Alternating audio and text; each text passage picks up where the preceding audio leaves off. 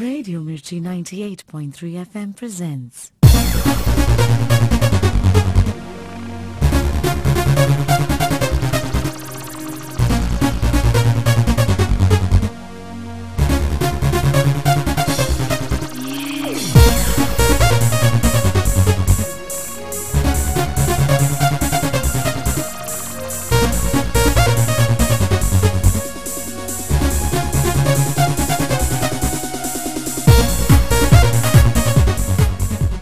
Hi this is Nani మీరు వింటున్నారు radio Mirchi ninety eight point three FM ఇది చాలా హాట్ గురు.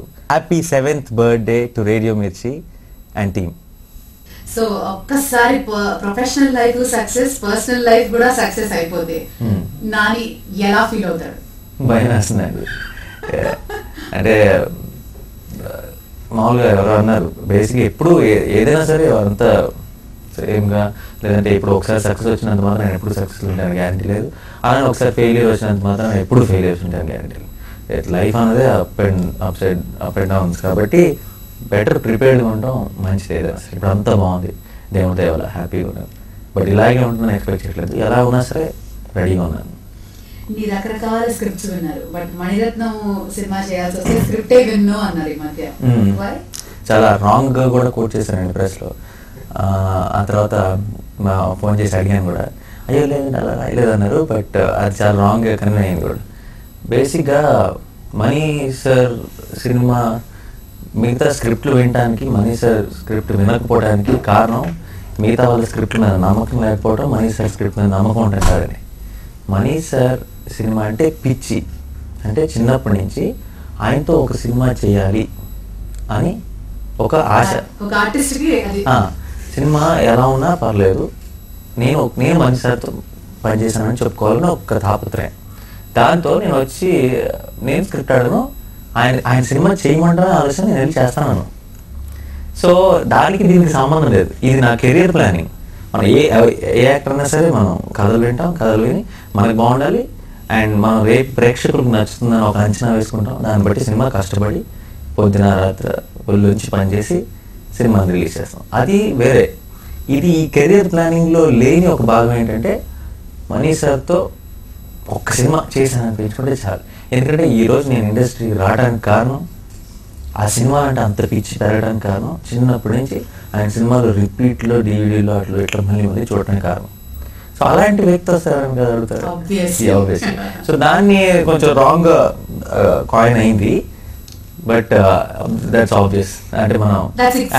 ఇట్స్ ఓకే యాక్టర్లు అన్న తర్వాత చిన్న చిన్న ఇప్పుడు నా మాటల్ని పేపర్ మీదకి వచ్చేటప్పుడు కూడా కొన్ని కొన్ని మారిపోతుంటాయి అర్థాలు మారిపోతుంటాయి. అది మనం ప్రతిసారి ఎక్స్ప్లెయిన్ చేస్తూ కూర్చోలేము. సో ఐఎమ్ హ్యాపీ ఓకే అంతే అంతే.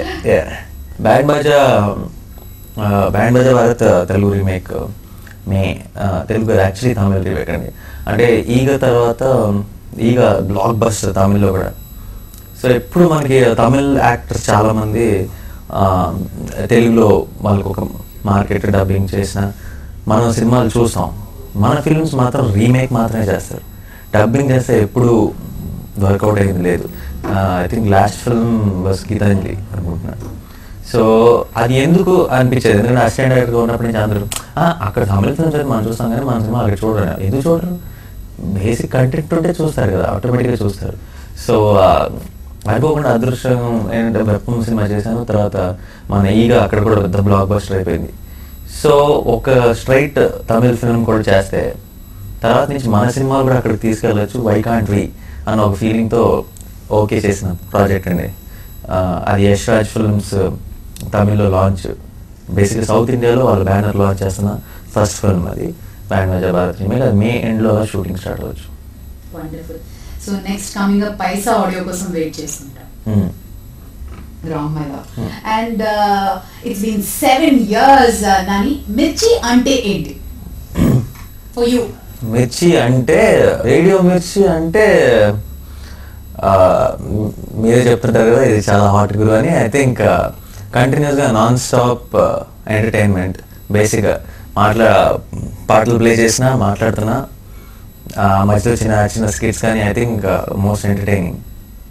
All right so మీకు ఒక సర్ప్రైజ్ ఉంది. కాసేపట్లో మీతో కొన్ని క్వశ్చన్స్ అడగడానికి ఒకరు రాబోతున్నారు. ఆ ఒకరి గురించి చెప్పాలి. ఫస్ట్లీ రేడియో మిర్చిలో ఇంటర్న్షిప్ చేసిన Anjana got married to Nani and we also remember తను ఇక్కడ ఇంటర్న్షిప్ చేస్తూ ఉన్నప్పుడు used to stand down and pick her up sometimes oh Nani's waiting అని చెప్పి ఇక్కడ ఫుల్ హంగామా చేస్తుండేది. So also in the studio. So మిమ్మల్ని ఏదో క్వశ్చన్స్ అడగాలంటే if you're okay of course okay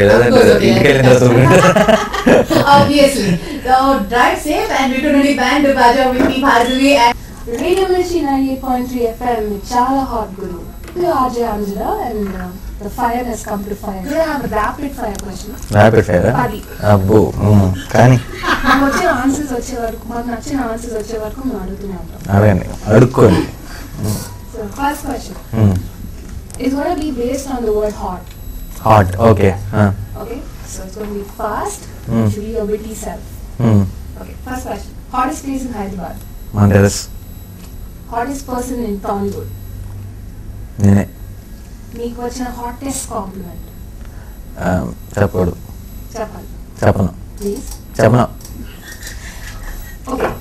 Hottest, cutest thing about me. Hottest cutest thing about you pass Okkom, Okkom and Okkom. ఏంటి? Repeat. Hottest, cutest thing about me. నీ voice hottest, latest buy. Hottest latest buy hmm. నా car. Hottest place Munnar మీకు వచ్చిన hottest movie offer hottest movie offer band Baaja Baaraat okay మీకు వచ్చిన hottest complaint hottest complaint నీ గురించే. అదే నువ్వు సరిగ్గా తింటలేదని ఇంట్లో.